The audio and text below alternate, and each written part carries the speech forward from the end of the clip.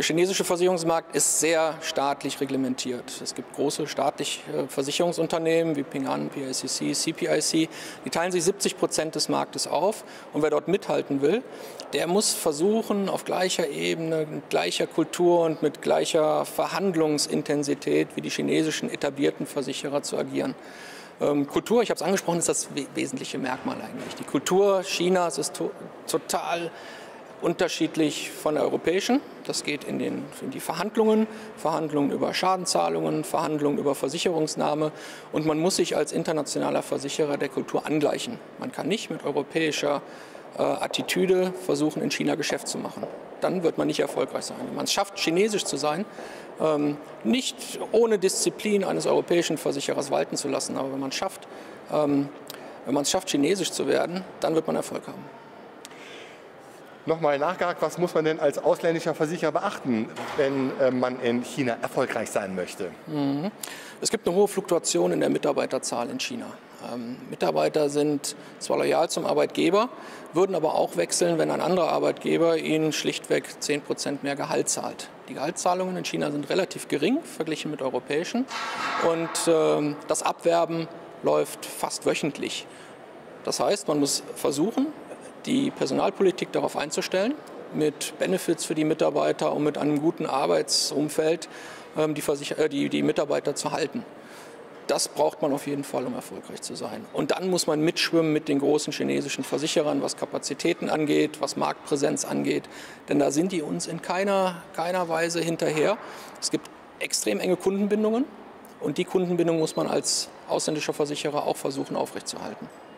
Sie haben in Ihrem Vortrag angesprochen, Ausländer teilen sich 4% des chinesischen äh, Versicherungsmarktes. Das ist mhm. ja äh, sehr gering. Wie lässt sich dann dieses hermetische, diese Festung äh, aufbrechen? Ja, es gibt Nischenmärkte in China. Ähm, ein Nischenmarkt ist Casualty, Haftpflicht, D&O.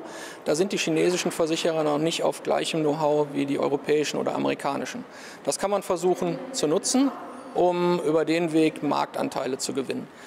Man muss aufpassen, wenn man in die direkte Konfrontation mit den Etablierten geht, denn äh, die sind so enorm stark, dass sie im Kampffalle jede Preise, jeden Preis unterschreiten würden.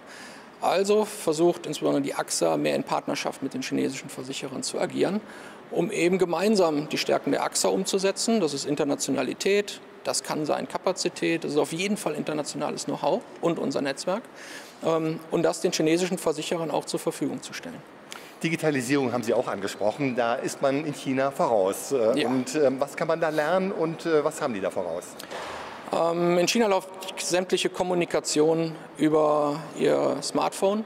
Das sind Zahlungswege. Sie zahlen nichts mehr in Bargeld, wenn Sie nicht wollen. Das läuft alles über Kommunikations-Apps. Sie können mit Ihrem Freund Geld tauschen, ähm, im Restaurant bezahlen und das Geld gleich teilen. Das läuft alles über, über Applikationen, die Sie auf Ihrem Smartphone haben. Da ist China weit voraus. Sicherheit ähm, ist auch gegeben. Ich selbst benutze ähm, eigentlich nur noch bargeldlosen Zahlungsverkehr, habe da kein Problem erkannt und habe auch den Eindruck, dass äh, die, die, chinesischen Behörden sehr viel Wert auf IT-Sicherheit legen. Ähm, alles, was Reporting und was Ausarbeitung von Technologien angeht, da ist China auch weit voraus. In den Schulen ist Computer äh, eigentlich gang und gäbe. Ähm, Kinder kennen sich technisch viel besser aus, finde ich. Ich habe den Vergleich zu meinen Kindern, als sie in der europäischen Schule waren, als in Europa. Das gehört zur, zum Tagesablauf, ähm, alle Sachen digital zu erledigen. Sie gehen auch nicht mehr einkaufen. Sie lassen Sachen bringen und das ordern Sie über Ihr Smartphone. Wenn Sie, wenn Sie unterwegs sind und merken, ich brauche noch äh, eine Kiste Wasser und eine Kiste Milch, dann ordern Sie das und wenn Sie in zehn Minuten zu Hause sind, steht da schon einer, der Ihnen das bringt. Ähm, also da ist China weit voraus mit allen Dingen, die IT-Technologie angeht. Jetzt ist in letzter Zeit äh, in China ganz schön äh, rauf und runter gegangen wirtschaftlich. Äh, und ähm, ohne einen Blick in die Glaskugel zu werfen, wo sehen Sie denn den chinesischen Markt in den nächsten fünf Jahren? Ja, also ich glaube schon, dass das Potenzial noch da ist in China. Ähm, dass auch China versucht, die Potenziale zu heben, die sie selber sehen. Das muss nicht unbedingt die, die Billigproduktion von Gütern sein. Da gibt es ja schon Abwanderungen in Richtung Bangladesch oder in Richtung Vietnam und Indonesien, Philippinen. Ähm, das werden viel höherwertige Leistungen sein. China unterstützt die Infrastruktur in Asien in gehobenem Maße, geben Kredite und geben auch gleichzeitig die Bauleistungen in die Länder, um Infrastruktur wie Straßen, wie Flughäfen und so weiter aufzubauen.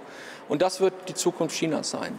Ähm, es wird die One, Boat, One, One Road, uh, One Belt äh, Initiative sein, die versucht, China über Indien und dann hoch in die arabischen Länder bis nach Rotterdam zu führen und dort Infrastruktur aufzubauen. Über Kraftwerke, über, ähm, über ähm, Flughäfen, über Zugverbindungen, um halt den internationalen Güteraustausch von Rotterdam und dem Nordseehafen bis nach China hinzubekommen. Und China ist da hauptsächlicher Investor.